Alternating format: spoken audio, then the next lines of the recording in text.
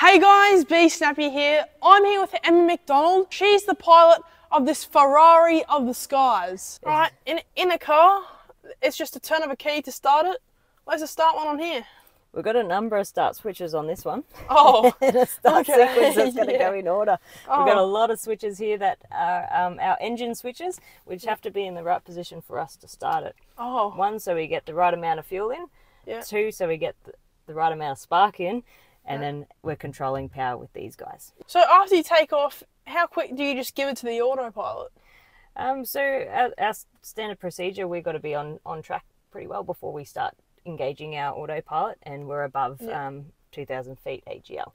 Personally, I like to fly it for a little bit longer. Yeah, get a bit of a feel of it. Emma, online, I've seen this plane go inverted. As an aerobatics pilot, do you ever get tempted to do that? Especially because they've proven this aeroplane can do it. Yeah. It is tempting, but we said this aeroplane's not um, authorized for aerobatics. But the one that you've seen Yeah. do aerobatics has has an STC approved for that. Here in Australia, they had it here for the Avalon Air Show where they were doing a demo of how nimble this aeroplane is, and it, it certainly is.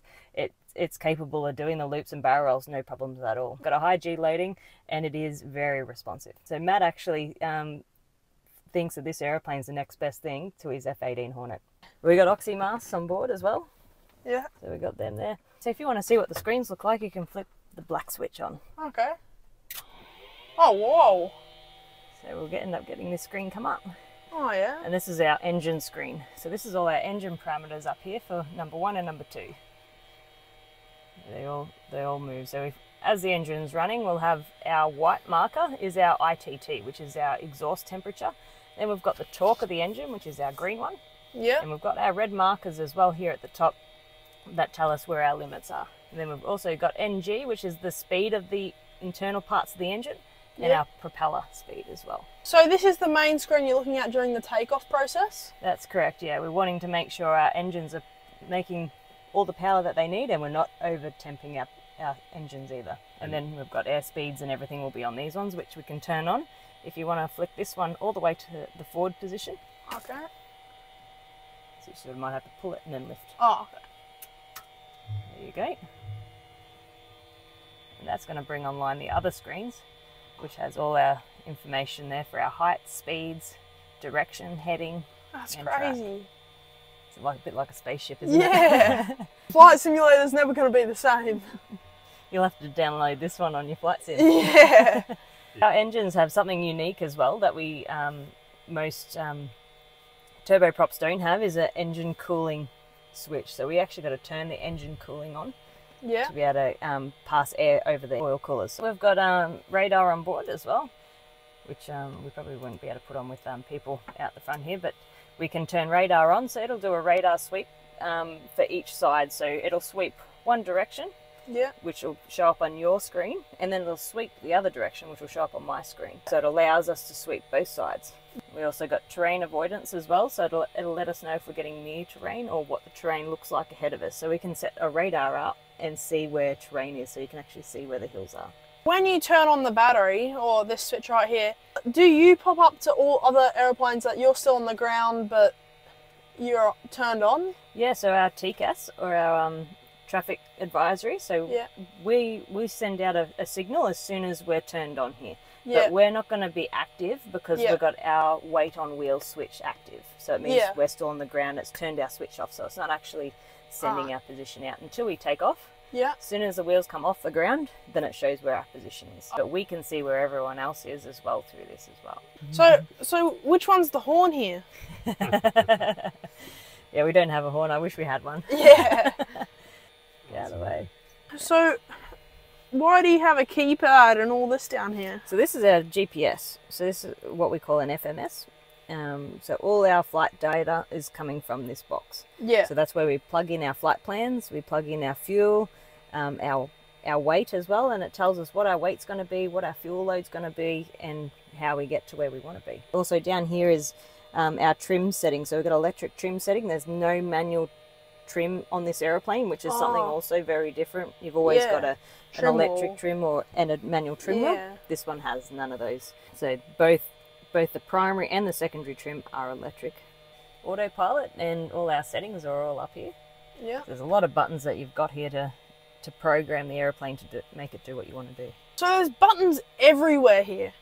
Are you actually using all of them, or is it just certain ones that you have to use? Majority of the time, we're using like all, all the switches are used Yeah. um, on most flights, depending on whether you got icing or not. If you don't have icing, then you, you're not generally using much of this stuff. yeah. Everything else is always used. The buttons on the screens are always used. Um, the TCAS and terrain avoidance is always used, and a lot of these ones are also used. So you could pretty Yeah. well say they're all used.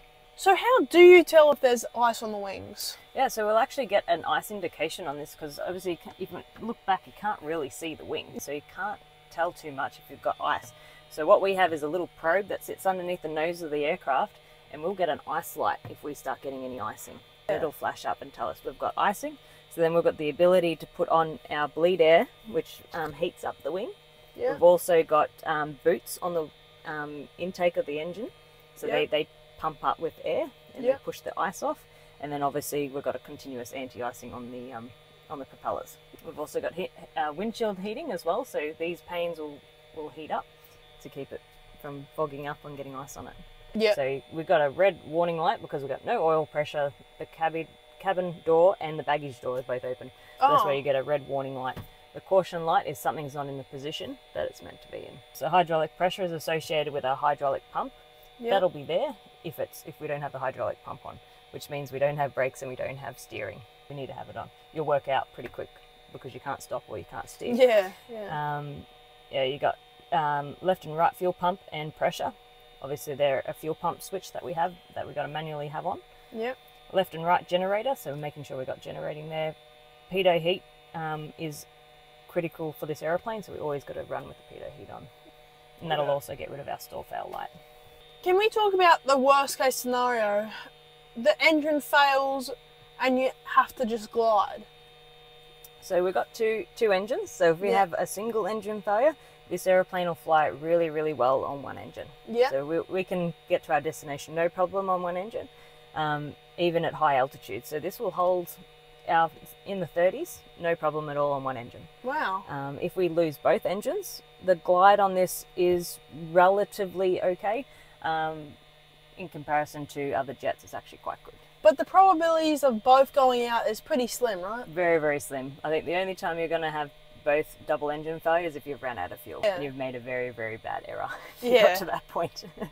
Because this aeroplane takes a lot of fuel, so you're always carrying quite a fair bit of fuel. We actually use this switch after every landing. We have to dump the cabin um, in case there is still some air stuck in the door seal. So if there's Yeah. air stuck in the door seal, it makes it hard to get it open. So we actually have to do a dump. It's part of a checklist item. We do our run-ups. We have a rotary test that we do, and a lot of it is um, warning signs. So that's an engine exceed warning. So if we exceed the engine um, speed, that's, Yep. that noise will happen. Uh, we've got annunciators so we can flash up um, six of these. So if we turn these off, it should pop up again. Oh So yeah. all these have popped up, all the red ones have popped up for us. We've also got lamps so we can test all our Oh, lights whoa. are working. So you can you can make sure that there's no bulbs out or anything like that. Yeah. Then we've also got um, a unique one on here is our fire detection, so we can actually put out fires in our engines. Oh, so if we get any of these fire warning lights, Yeah. that means we've got a fire on board, which will be in the engine bay. If that occurs, we can push a um, fire extinguisher and it'll extinguish the fire. That's really engine. cool. It'll do a stall, so we can do. We should do that. One. So it's got a caution for the stall fail came on, and it'll just take a little bit of time for it to come through. There she goes. Oh, And yeah. that's the stall. So tell us about your role at Matt Hall Racing and what do you guys offer? Yeah, so when I'm not flying, I'm also an operations manager full time as well for Matt Hall Yeah. Racing. We offer joy flights where we can take people for an aerobatic experience around Lake Macquarie. And Yeah. that's where we can take you up to 8G, so you can experience Oh, wow. eight times your body weight, which is something very, very unique. Wow, yeah. We'll uh, take you through loops, barrel rolls, tumbles, so we'll actually throw the plane end over end. And you've also got the corporate jet side of things. How does this work? Yeah, so um, on the weekends I'm flying aerobatics or doing displays, and then Yeah. during the week we're flying uh, the corporate aircraft, and it's a great mix because I get to do best of both worlds. It's something Yeah. I've always wanted to do is fly the, the fast aeroplanes, but also fly them upside down as well. Yeah, yeah. So anywhere that has a tar sealed runway in Australia, you guys can go pick them up and take them anywhere? We certainly can. So how do viewers get in contact with you? Yeah, so you can jump on our website, matthallracing.com, and we've Yep. got everything there. Thanks so much for showing us around. It sounds like an awesome operation you guys have here. No problem. Thank you very much for having me. Thanks, Emma. Too easy.